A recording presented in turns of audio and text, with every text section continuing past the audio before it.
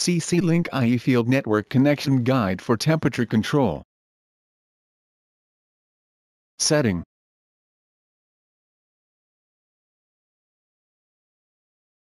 Now that the wiring is finished, move on to the settings. Just as individual telephones are assigned telephone numbers for identification, station numbers are used to identify stations. The system shown here is configured with two stations. Station number of the master station is always fixed to 0.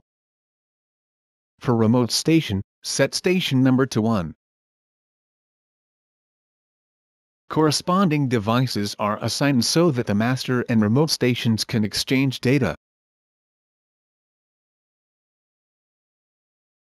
The procedure for hardware settings is described.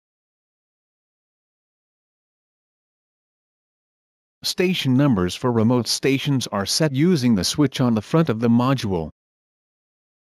The remote station is station number 1, so set the station number to 1 using the single-digit switch.